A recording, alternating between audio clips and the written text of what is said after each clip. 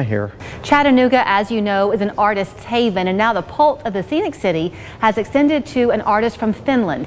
Philip Laszlo is bringing his tribute to the forgotten here, and it's all to help the Orange Grove Center. It is so great to welcome Philip Laszlo back to the show this morning, joined with Heidi Hoffecker from the Orange Grove Center. Welcome to you both. Thanks Thank for having you. us. It's been a few months, Philip, since you were here on 3 Plus You the first time. April seemed so far away then, but you're back now with this wonderful uh, exhibit at the River Gallery.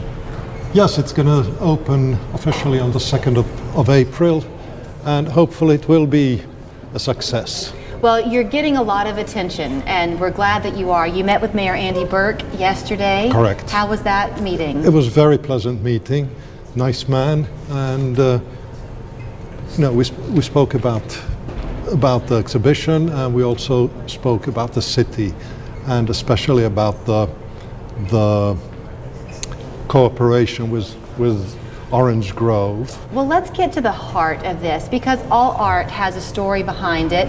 Your story is that you had had a conversation with a friend.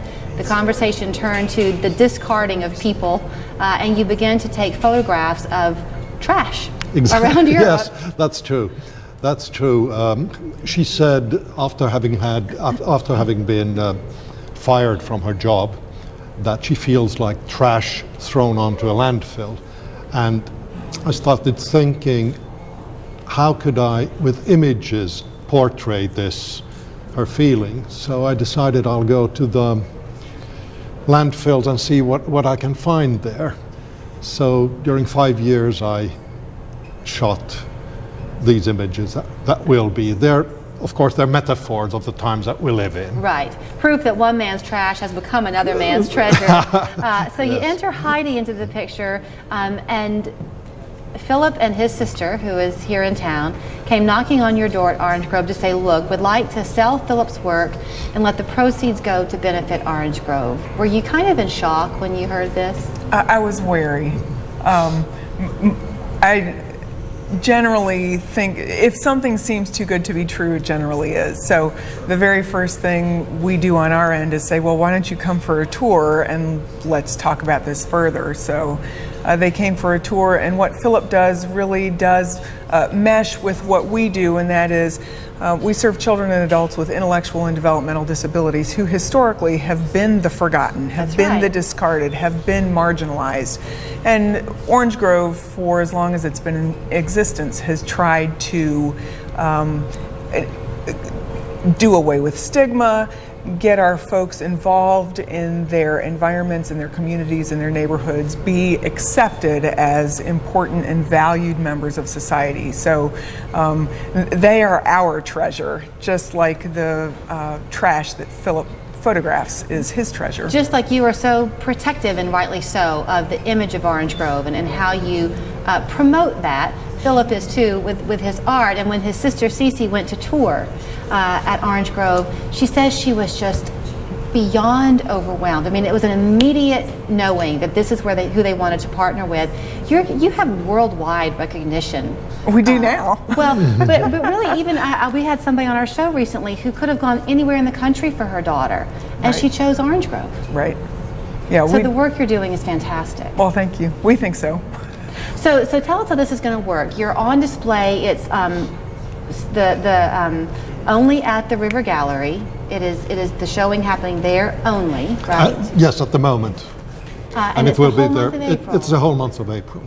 Yes. And what you have, you, you take these photographs and you put them on canvases of varying sizes, right? But some are quite large. Yes, they're, uh, the largest ones that will be displayed are 40 by 28. Okay. and uh, the the smaller ones are going to be um, 28 by 20, 20, and they're all um, printed on acrylic. Okay. If you when you go, we're going to tell you a lot, and you won't be able possibly to hold on to all of it. But you'll see these nice brochures there uh, at the River Gallery. Philip is from Europe, so his work is sold literally worldwide. And what he's also done, and you're going to have to fill me in if I get this a little bit wrong, but. Uh, Part of the, the title of this is, is Dignity by Philip Laszlo. Yes. And anything that is sold throughout the world now that has that dignity uh, logo attached to it goes back to benefit Orange Grove. That's correct. That is correct. And that's including textiles as well as Textiles, anything, anything that's licensed, we hope to be able to license on many, many products. The, the, the, the brand name Dignity by, well, Dignity by Philip Laszlo, because uh, dignity is something that at the moment there perhaps isn't enough of it.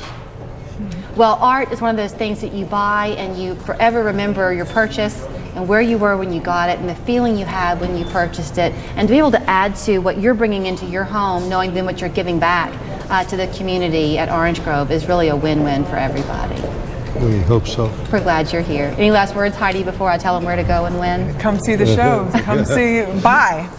yeah, don't just come and see, come and buy. It all begins Bring April 1st. The timing couldn't be better because it is spring break week for folks here in town. So it'll be a good time to come and browse uh, the River Gallery. And again, all the proceeds go back to the Orange Grove Center. Um, and we encourage you to go and see and be inspired. Thank you both so much. Thank you. you. Thank you for having this. us.